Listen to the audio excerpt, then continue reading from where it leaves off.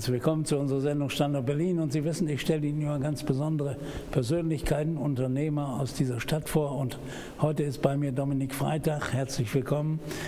Sie sind Ingenieur, Vorstand der Gesellschaft IGP Ingenieur Aktiengesellschaft. Mhm. Genau, richtig. So, und jetzt werden Sie sagen, ja, was macht denn der Herr Freitag? Ich sage, ja, Sie sind in Schönefeld und Ihnen haben wir es zu verdanken, dass da ein riesiges neues Geschäftszentrum entsteht. Was machen Sie denn da zurzeit? Genau, also wir sind im Wesentlichen dafür da, den Flughafen koordinierend fertigzustellen. Das heißt, der Flughafen ist Wenn es nicht klappt, sind Sie schuld.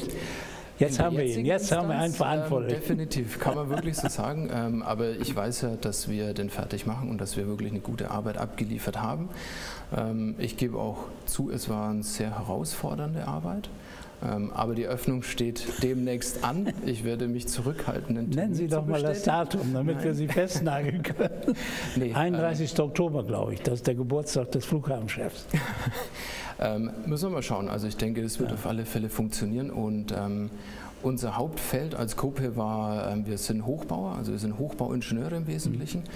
Mhm. Und ähm, wir sorgen dafür, dass die Firmen unter Aufsicht des Bauherrn, also wir sind Bauherrnvertreter, die Arbeiten fertigstellen. Ähm, da war ein großes Konvolat an ähm, ja, Gegebenheiten vorliegend. Die haben wir 2014 aufgenommen. Also das heißt, wir sind 2014 mit einem sehr großen Team äh, an den BR herangegangen und ähm, ja, haben den jetzt zeitnah fertiggestellt, ähm, was für uns alle auch ein Stück weit Erleichterung ist, ähm, weil der ging sehr weit durch die Presse. Und ähm, wir sind wirklich auch ein Stück weit stolz darauf, diejenigen zu sein, die mit das Eröffnungsbändchen dann durchschneiden dürfen. Hand aufs Herz, was war denn, was war denn so viel zu machen? Das ist eine einfache Frage, aber dahinter steckt viel, viel mehr. Ähm, Im Grundsatz nach hat man ähm, Wünsche nachträglich umgesetzt, die einfach durch die, durch die Zeit entgekommen sind. Also diese, Aber die nicht im Plan waren. Richtig, korrekt. Also diese Geschäftsflächen, also diese Verkaufsflächen, die haben sich mehr als verzehnfacht. Und deshalb eigentlich nachdem der fertige Plan verabschiedet wurde, also nachdem man schon gebaut hat. Aber wie hat. kann man denn bauen, wenn man keinen Plan da hat? Ah, der Plan war ja da, aber nicht mit diesen Verkaufsflächen. Ja. Es hat sich das Interesse und das Geschäftsmodell ähm, im Betrieb eines Flughafens verändert.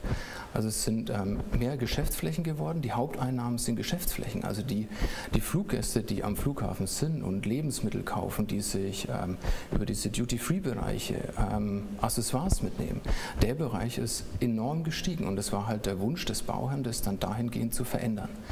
Und dadurch, dass der Flughafen in der Konstruktion ja eine einmalige Konstruktion ist. Alle Flughäfen haben, ähm, das was auch in der Presse immer geschrieben wird, diese Entrauchungsanlage die war einmalig konzipiert. Also Nämlich heißt, der Rauch geht nicht nach oben, sondern nach genau, unten in die Erde. Genau. Und Sie müssen sich vorstellen, die Entrauchungsanlagen, also der Rauch muss dort weg, wo viele Menschen sind. Mhm. Verkaufsflächen sind einfach die meisten Menschen. Und das ist einer der Gründe, das umzuplanen mit einem einmalig weltweit einzigartigen Konzept, geht nicht von heute auf morgen. Das muss man wirklich sagen. Und, ähm ja, aber hat man das denn nicht vorher gewusst, gesehen? Haben Sie nicht als Ingenieur, wenn Sie so einen Plan sehen, sagen, das geht doch gar nicht? Äh, doch, auch das vorherige Architekturbüro hat das gesehen, aber der Bedarf vom Bauherrn war nicht da. Hm. Also die Verkehrsflächen waren einfach deutlich geringer und das, was man hätte nach unten absaugen müssen, auch deutlich weniger und das funktioniert. Aber wenn ich halt hergehe und ein Konzept, was es auf weltweit nicht gibt, verändere und sage, ich möchte jetzt am liebsten mal zehnmal so viel Luft absaugen, dann kommt man an die Machbarkeit also kommt man einfach an Grenzen, wie mit dem Elektroauto. Das fährt auch nicht von hier bis nach Afrika, sondern das muss erst entwickelt werden. Klar würde ich das gerne so tun, aber man muss da halt einsteigen, man muss sich wirklich den Kopf zerbrechen und man hat dann, während man weiterarbeitet, mit einem Stück weit alter Planung eine neue Planung aufgesetzt und beides versucht parallel umzusetzen. Und das heißt, der alte Plan hat funktioniert. Ja. Der alte Plan war korrekt. Hätte es, Hätte es man so gelassen, ja. dann wären wir seit zehn Jahren schon in der Luft. Ja. Und dieser Neubau, der zehnmal so groß ist wie der bestehende Plan, der hat das nicht schaffen können, weil die Flächen nicht da waren. Ähm, also, das ist einer der Gründe natürlich. Also ich versuche den, mhm. den, den, Schwerpunkt nochmal ähm, darzustellen. Ja, konkret, also der Flughafen, das Konzept, ähm, was ähm, der erste Architekt hier auf den Markt gebracht hat, hätte funktioniert. Der hat auch schon weltweit, glaube ich, sieben oder acht Flughäfen geplant und fertiggestellt. Mhm. Auch in dem Zeit- und dem Kostenpensum, das ähm, vorgegeben war. Aber durch die Veränderung der Wünsche hat sich das, also es funktionierte nicht mehr. Und Wessen Unterschrift steht denn darunter? Das ähm, muss ich ehrlich gestehen, weiß ich persönlich nicht. Da müsste ich nachschauen. Ähm, ja. Da muss auch der damalige Geschäftsführer des Flughafens, der muss gesagt haben, ich will mehr Verkaufsfläche haben. Ich glaube nicht, dass das an dem Geschäftsführer lag, sondern das war ein ähm, Konglomerat aus vielen ähm, vielen Parteien, die dort mitwirken. Also es sind die Fluggesellschaften natürlich, die auch ein Interesse vertreten. Ähm, es war zu dem damaligen Zeitpunkt Air Berlin auch ein sehr, sehr schweres Gewicht in der Entwicklung des Flughafens und der Bedürfnisse. Ähm, in, der, in der Planung, als ich auch eingestiegen bin, war es so, dass der A300 ähm, auch auf den Markt gekommen ist. Air Berlin wollte, ähm, glaube ich, an die 30 bis 100 Stück kaufen. Also musste man auch, was das Vorfeld betrifft, mhm. auf so Großmaschinen umstellen. Auch das war in der ersten Planung gar nicht berücksichtigt. Und jetzt gibt es Air Berlin nicht mehr und auch keine Großflugzeuge mehr. Naja gut, Lufthansa gibt es noch mit dem ähm, A300. Ähm, von dem her die Wünsche sind schon da, aber natürlich Air Berlin, die damals auch ein Schwergewicht waren, die sind. Also schließen wir mal die Geschichte ja, ab. Genau. Der Flughafen wird eröffnet. Ja. Ja. Sie sind Garant dafür. Wenn das nicht der Fall ist, dann sitzen Sie nochmal auf dem Stuhl. Hier. Ja, und dann machen wir den Stuhl heiß. Gerne. heißt der, ja. Heißer Stuhl. Aber Schönefeld heißt, heißt es ja jetzt, und wir lesen das immer ständig, und ich kriege das auch hier natürlich immer zu hören. Ich sage, es wird eine gigantische Entwicklung geben. Mhm. Und Sie sind wieder dabei diese Entwicklung zu machen. Genau, also wir sind ja, wie gesagt, schon seit mehreren Jahren dort vor Ort. Wir haben auch ähm, durch das Netzwerk und durch die Kommunikation, ein Flughafen entsteht auch und ist genauso groß wie das Umfeld um sich herum. Und ähm, durch das Know-how, was wir jetzt entwickelt haben seit über 20 Jahren, hatten wir die Möglichkeit für gewisse Investoren auch Ideenmodelle zu erzeugen. Und natürlich ist auch am Flughafen, ähm, wenn das das Dreh- und Angelkreuz von Deutschland werden wird, ja, und dafür ist er konzipiert, der Flughafen, ganz klar, ähm, wird es da äh, Bedarf an Kongresszentren, an Hotels etc. geben. Und ähm, wir haben jetzt mit einem sehr starken Partner aus Hamburg, Schweger Architekten, auch äh, den Bereich der Architektur uns angeeignet und entwickeln Modelle, wie man jetzt mit den Flächen, die eben am Flughafen noch sind, weiter umgehen kann, sodass es halt in das Konzept dieses schöne Feldareals passt. Was soll denn da entstehen? Also das Klassische, was immer entsteht, sind natürlich Hotels und Büroflächen, mhm. ähm, Gastronomie und ähm, ja, im Wesentlichen also weniger Wohnen, was ich nicht ausschließen möchte, aber natürlich ähm, im Wesentlichen Büroflächen, Hotels. Ja, wie kann man da wohnen? Das ist doch ständig. Die Geschäftsleute, Herr Brinkmann, ja. die Geschäftsleute, die ähm, kurzzeitig da sind. Also die, das Modell der Hotels ist zwar immer noch vorhanden, wird auch genutzt, aber viele Leute auch mit der aktuellen Zeit von Corona arbeiten ja nicht mehr in einem festen Büro, sondern die brauchen das Hotel auch als Arbeitsplatz.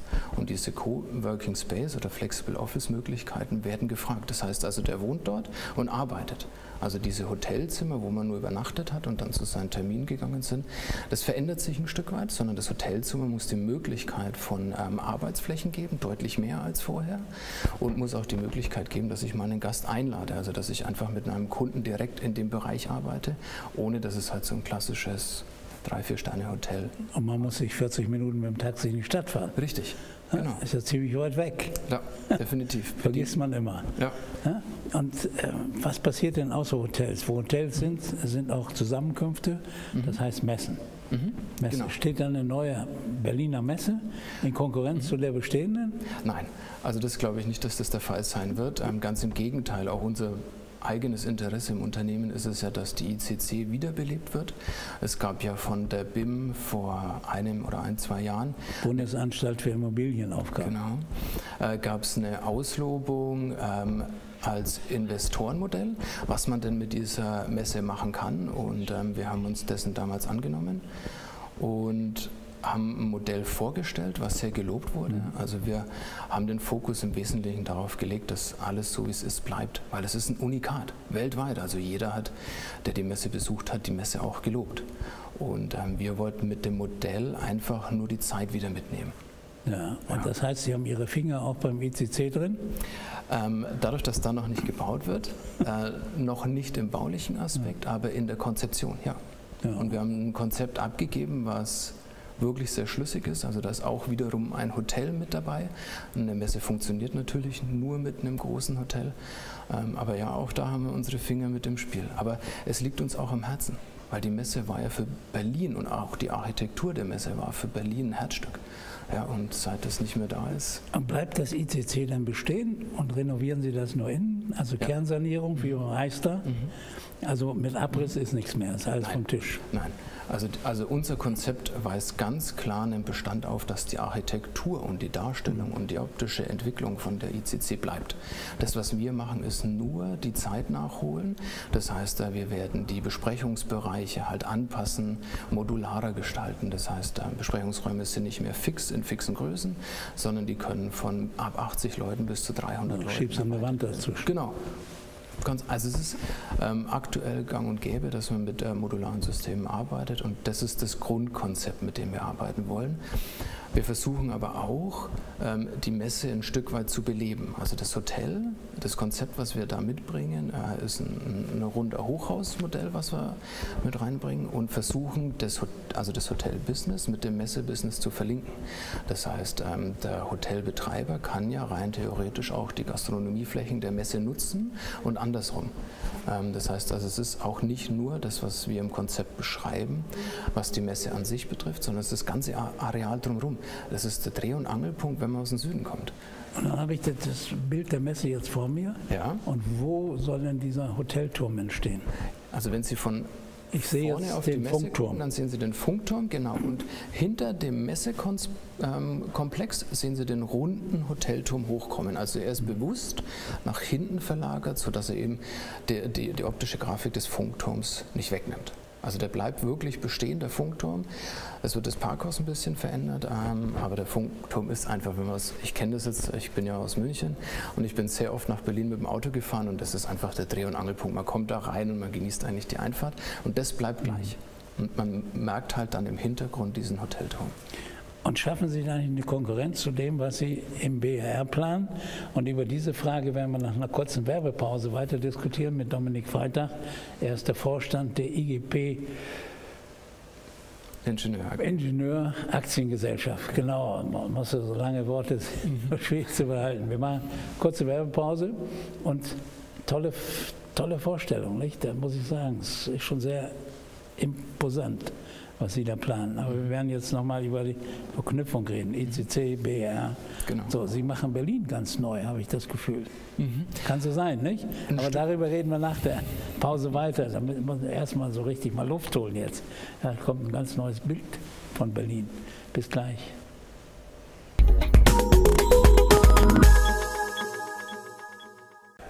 Zurück in unsere Sendung Standort Berlin und zu Gast ist heute Dominik Freitag. Er ist Vorstand der IGP Ingenieur Aktiengesellschaft und Sie planen BR alles drumherum und Sie planen und sind, haben Ihre Finger drin beim ECC. Wo haben Sie eigentlich Ihre Finger nicht drin in Berlin? Also im Grundsatz nach ähm, gibt es wenige Punkte. Wir sind schon, äh, das Unternehmen ist so groß, dass wir uns auf Großprojekte spezialisieren. Das heißt, ähm, mehr oder weniger gehen alle Großprojekte bei uns mal über den Tisch. Natürlich bedienen wir nicht alles selbst, das mhm. funktioniert gar nicht. Also so groß sind wir auch nicht. Ähm, aber wir versuchen doch immer wieder mit innovativen Dingen voranzuschreiten. Also wir haben mit viel Erfahrung auch viele Herausforderungen mitbekommen.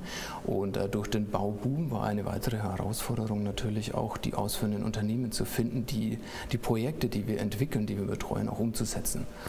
Und wir haben mit einem, ähm, ich versuche sehr deutlich zu sehen, Greenovation Campus, also einen, einem grünen Campus in einer Holzhybrid-Bauweise, glaube ich, wieder ein Unternehmer gefunden. Was ist Holzhybrid?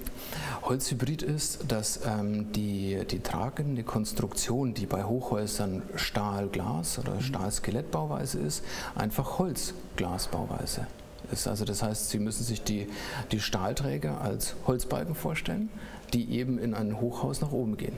Also wir gehen da einen Weg, der uns in der Nachhaltigkeit sehr bewegt hat. Ähm, wir wollten von diesem Stahlboom ein Stück weit weg. Wir haben nach Unternehmen gesucht, die einfach Ideen haben. Also und das hat man ja heute, da gibt es viele Ideen auf dem Markt, man muss die nur greifen. Wir haben Unternehmen gefunden, die sich das zutrauen. Und mit dem Green, ähm, Greenovation Campus machen wir die erste Umsetzung, was das betrifft, hier in Berlin ähm, und versuchen mit natürlich einer klassischen Denkweise, die bei der Stahlkonstruktion gleich geblieben ist, halt das Stahl durchs Holz zu ersetzen. Das, das hält auch. Das hält, definitiv. Naja, sonst würden sie es nicht machen. Sonst würden wir es zum einen Ich meine, Pfähle sind in der Erde und mhm. Ja, Venedig genau. steht nur auf Pfählen und viel in Berlin auch. Also warum nicht mit Holz? Und wo entsteht sowas? In Zehlendorf steht es ähm, oder wird es stehen. Also es ist eine Entwicklung, es ist eine Vision, die wir haben, die wir verfolgen, ähm, wo wir kurz vor der Baugenehmigung stehen aktuell. Ähm, ja, und es ist, ähm, ist aufgebaut wie ein Dreieck mit einem grünen Areal, das nach unten geht. Ja, also, was Neues. Definitiv. Also wir freuen uns auch, da mal einen Fortgang zu machen, weil jeder verbindet ja mit Holz Feuer. Genau. Aber und Unsicherheit, das bricht. Richtig. Aber das ist nicht so. Man muss ähm, einfach mit den Gegebenheiten umgehen. Das heißt also, Holz hat eine super Eigenschaft. Wenn man es dick genug ähm, dimensioniert, entwickelt es den eigenen Brandschutz. Also durch das Verbrennen der ersten Schicht ist ein Brandschutz gegeben von den Tragkonstruktionen. Das heißt, das war schon anno dazu mal vorhanden und jetzt gehen wir wieder zurück. I trust on you. Gerne. Wir setzen auf Sie, dass es so wird ja. und wünschen uns nicht, dass es mal passiert. Ich will noch mal auf den BER kommen. Gerne. Das scheint mir ja, so wie Sie erzählen, ein richtiges Vorzeigeprojekt zu werden, was Sie da drumherum planen. Und auch der Flughafen selbst, Sie machen ihn ja jetzt fertig. Mhm. Äh, haben Sie denn im Inneren, da war so braunes Holz, wenn ich mich erinnere, mhm. ist das geblieben oder haben Sie das ersetzt? Mhm. Wie sieht es innen aus? Mhm. Kann man, wenn man reingeht, sagen, boah, das ist ja sagenhaft hier. Mhm. Ähm, ich muss gestehen, ich war jetzt schon einige Jahre nicht mehr persönlich im Flughafen drin. Ich kenne ihn von Anfang an, als wir ähm, gestartet haben. Ich war auch äh, international viel unterwegs und kenne viele ähm, Hauptstadtflughäfen. Ich glaube schon, dass es auch ein Vorzeigeflughafen werden wird. Also davon bin ich überzeugt, aber es ist auch ähm, ein Stück weit Geschmackssache. Dem einen wird es gefallen und dem anderen mhm. nicht. Ähm, ich muss gestehen, er ist sehr geradlinig, was mir persönlich sehr entspricht. Mhm. Also von dem her, ich würde schon sagen, es wird was Einmaliges und vor allem können wir auch ein Stück weit einen Haken an viele Pressemitteilungen machen, er dann mal auf Das vergessen wir alles, was davor war. Genau. Und wenn er dann fertig ist, freuen wir uns. Und Sie bauen jetzt noch weiter drumherum mhm. was. Wir sind schon mhm. beim Messe und Hotel gewesen. Mhm. Was entsteht neu? Äh, Berlin will ja auch Wasserstoff sein. Haben Sie damit auch was zu tun? Ähm, nee, mit Wasserstoff an sich nicht. Also wir arbeiten natürlich im Auftrag äh, der Automobilkonzerne.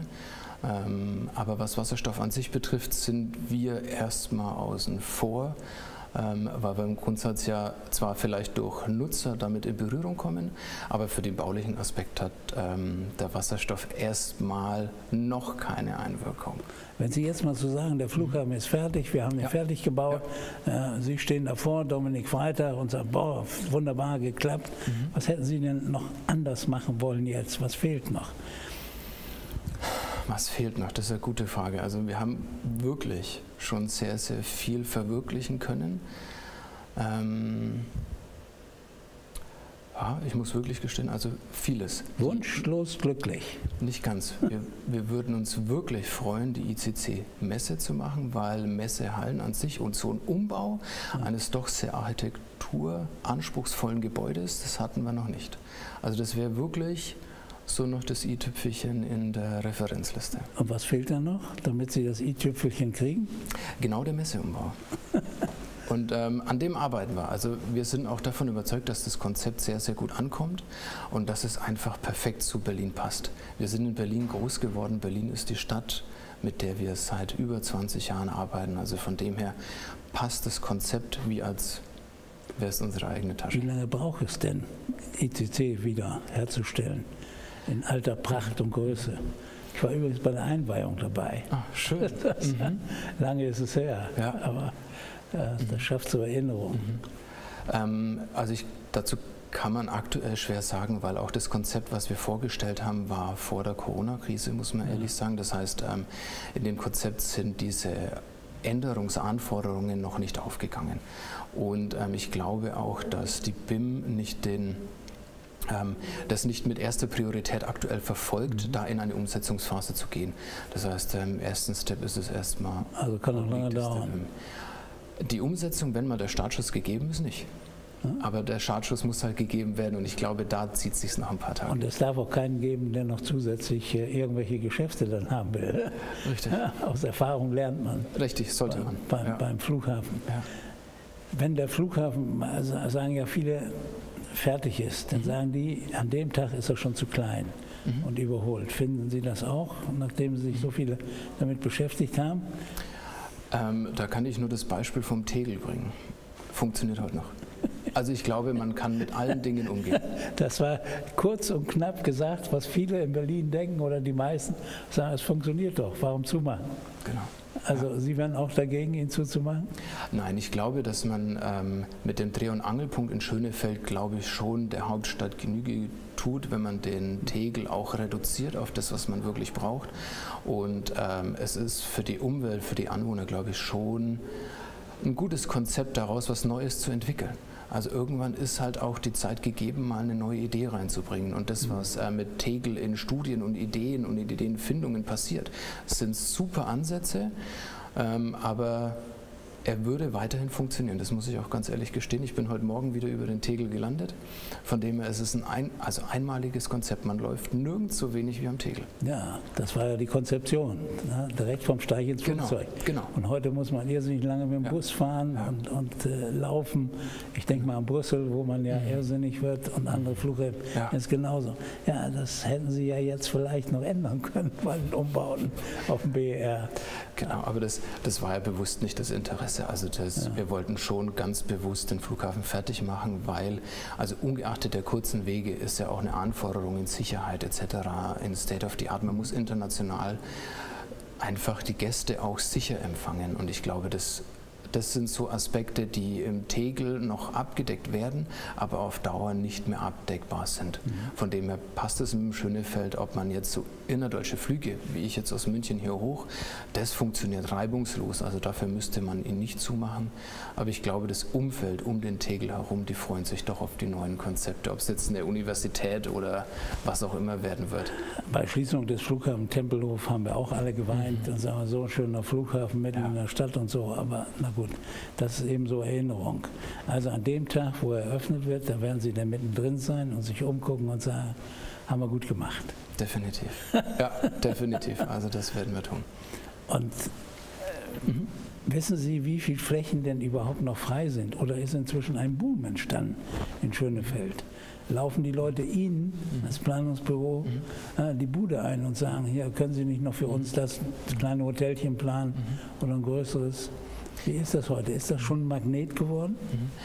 Ähm, es ist ein Stück weit Magnet, aber nicht ähm, heute, sondern schon vor einigen Jahren. Also vor einigen Jahren wurden die Flächen um den ähm, Flughafen selbst ja äh, sehr lukrativ und interessant für Projektentwickler.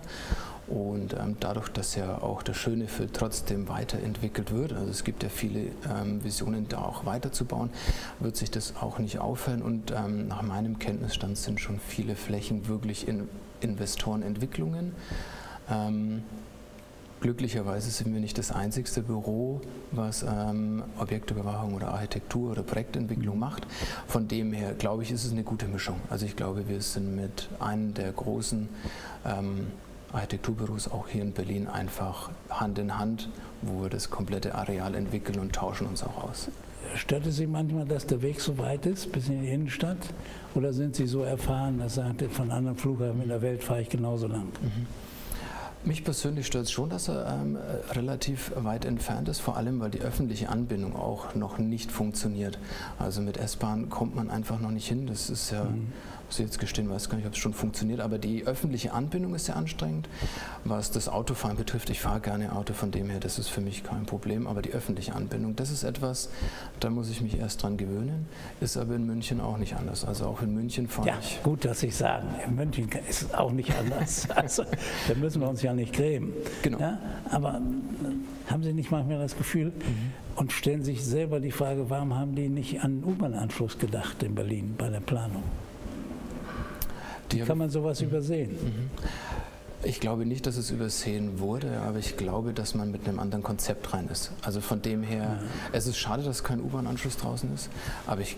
Aber es ist, wie es ist. Und genau. wenn wir dann Eröffnung feiern, da sind Sie auch dabei, mhm. ja, und dann werden wir uns freuen, dass alles wunderbar geklappt hat. Dann schauen Sie sich nochmal dieses Gespräch an und sagen, Herrn Freitag haben wir das zu verdanken und heute bedanke ich mich, dass Sie da waren und uns das mal erzählt haben. Und mhm.